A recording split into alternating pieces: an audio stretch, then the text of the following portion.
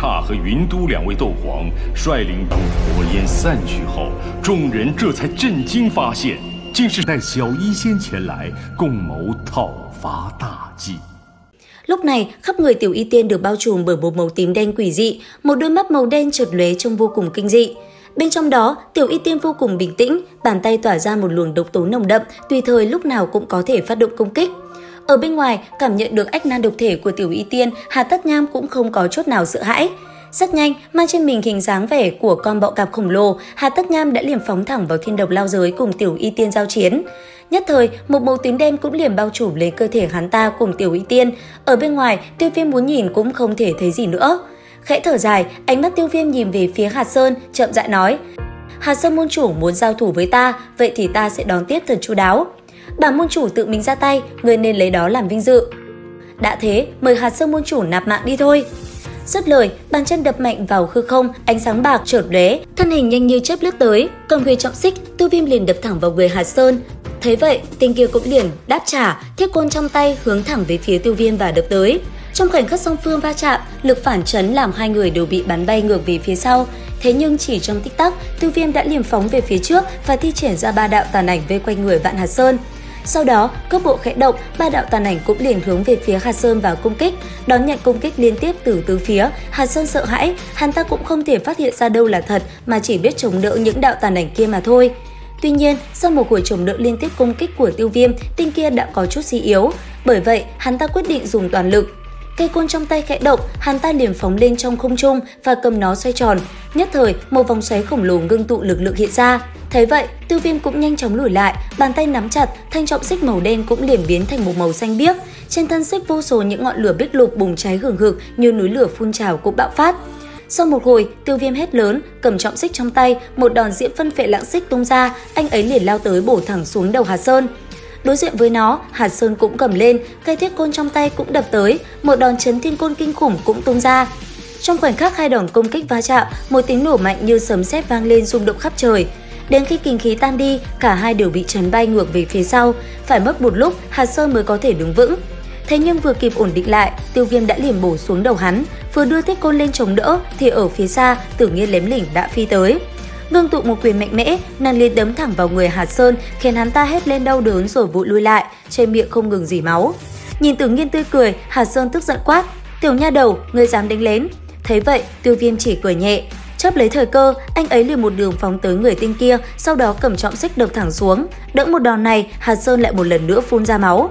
Ngay lập tức, hắn ta liền bỏ chạy về phía Vạn Hạp Môn, thế nhưng Tiêu Viêm đã lập tức đuổi theo tinh kia, không cho hắn chạy thoát. Thấy tình huống xấu, Hạt Sơn hô lớn nói: "Trưởng lão trong môn, còn không mau xuất thủ cứu giúp." Nghe vậy ở phía xa, đám trưởng lão cũng quay đầu lại, tung ra một trưởng đẩy lùi đối thủ, bọn họ liền bay về phía Tiêu Viêm, thế nhưng đáng tiếc, vừa lao tới, bọn họ đã bị Tử Nghiên cản lại. Tức giận, một đòn công kích đồng thời từ trên người bọn họ cũng liền phóng ra. Đáng tiếc, chỉ dùng một quyền, tưởng nhiên đã hoàn toàn phá vỡ nó.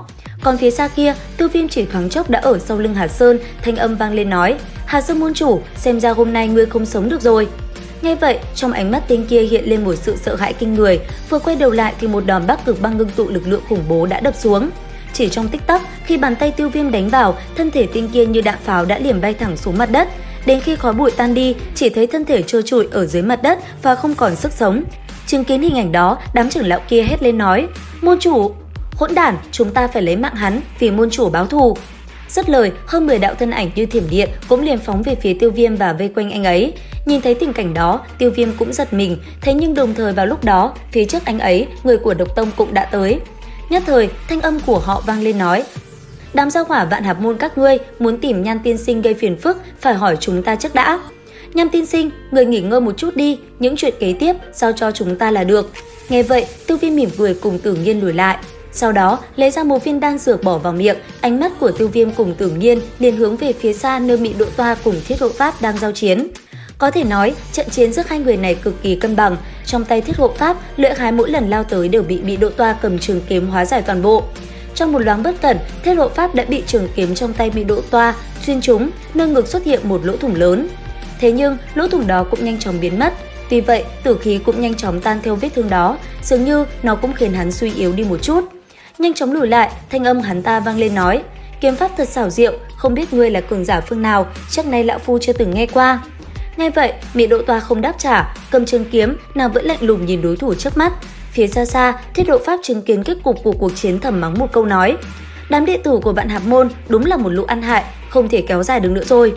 Thiết độ pháp âm thầm thở dài, bàn tay múa may quay cuồng rồi xuất ra một làng khói đen lặng lẽ trôi nổi trước mặt. Ngay lập tức, làng khói đen đó liền hóa thành những linh hồn, sau đó liền bỏ chạy. Thế nhưng ở phía sau, những sợi xích trên người tên kia đã phóng ra. Sau đó, nó liền xuyên thủng đám linh hồn kia và hút lấy một luồng năng lượng mạnh mẽ màu tím đen vào cơ thể mình. Theo sự hấp thụ linh hồn ngày càng nhiều của hắn, màn xương đen quỷ dị kia bắt đầu phình lên, áp lực tỏa ra càng lúc càng mạnh bạo. Từ phía ngoài, Tiêu Viêm cũng bị hành động của Thiết Lộ Pháp dọa đến thất thần. Ngay lập tức, thanh âm hô vang nói: "Thải Lân, mau đánh đi, đừng cho hắn tiếp tục nuốt linh hồn." Nghe Tiêu Viêm quát lớn, thân hình bị Độ Toa cũng nháy mắt loáng lên, trường kiếm trong tay liền đánh thẳng vào màn xương đen kịt. Khi kình phong đánh trúng vào tầng xương mù đó, sắc mặt Thiết Hộ Pháp đột nhiên đại biến. Sau đó, hắn ta nổi giận quát: "Sáng quỷ túi đựng hồn của lão phu, ta sẽ cho các ngươi phải trả giá."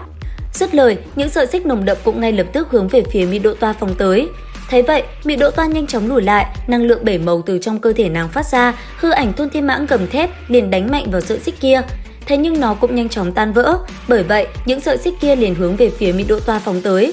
Đối với thế công cuồng nộ của lão, Mị Độ Toa liền rơi vào hạ phong, chỉ có thể dùng thân pháp linh hoạt mà không ngừng né tránh.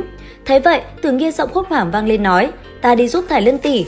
Không được, với thực lực của ngươi, vào đó cũng không giúp được gì đâu, canh trường xung quanh giúp ta, đừng cho ai quấy rầy. Nói xong, tiêu viêm hít một hơi, bàn tay nâng lên, chậm rãi co duỗi tạo thành những thủ ấn kỳ lạ. Chỉ trong tích tắc, anh ấy đã bước vào không gian của đế ấn quyết. Đến khi tỉnh lại, một luồng năng lượng kinh khủng hình bàn tay đã thành hình. Phía chân trời bên kia, thất thải kiếm quang cùng hắc mãng xỉn xích như tia chớp đan vào nhau, bộc phát ra âm thanh kinh thiên, hoa lửa lóe lên ngập trời. Mị Đỗ Toa cùng Thiết Hộ Pháp tại thời điểm này đã chân chính đi đến cuộc chiến đấu gay cấn nhất. Bên ngoài, Tiêu Viêm sắc mặt càng thêm trắng bệch. Để kết thành tầng thứ hai của đế ấn quyết hiển nhiên không đơn giản, Lúc này, sắc mặt của tiêu viêm đã cực kỳ khó coi. Cuối cùng, sau khi khống chế được đấu khí, tốc độ biến ảo của thủ ấn dần dần nhanh hơn, tàn ảnh tung bay. Sau một lúc lâu, thủ ấn cũng ngưng hình tạo thành một luồng năng lượng cuồng bạo. Bất chợt, ánh mắt tiêu viêm đột nhiên mở ra, tiêu viêm hét dài một tiếng quát lớn nói. Thải Lân, lùi lại! Nghe vậy, bị Độ Toa cũng liền tránh lui, còn tiêu viêm, anh ấy đã phóng lên, trên miệng hết giải quát ba chữ, phiên hải ấn. Sau đó bàn tay đã liền đánh mạnh vào thủ ấn phía trước, khiến bàn tay kia rời khỏi vị trí của tiêu viêm, hướng thẳng đến thiết độ pháp và đánh tới. Chứng kiến công kích lao tới, thiết độ pháp giật mình, hắn ta liền phát hiện ra đây chính là đế ấn quyết. Bởi vậy, nhanh chóng thi triển ra một luồng năng lượng cực kỳ khủng bố lơ lửng trên đỉnh đầu, thiết độ pháp đã dùng toàn lực.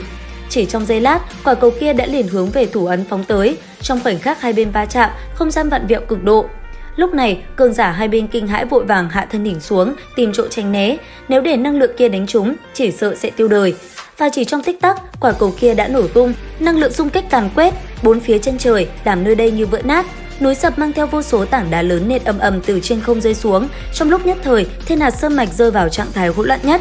Đến khi mọi thứ qua đi, thiết độ pháp run sợ, hàng vạn câu hỏi liền xuất hiện trong đầu hắn, thế nhưng không kịp suy nghĩ nhiều, hắn ta đã liền bỏ chạy.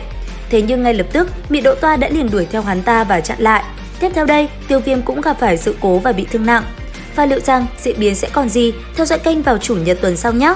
Đến đây thì hết tập 72 phần 5 đấu phá thương cung. Xin chào và hẹn gặp lại!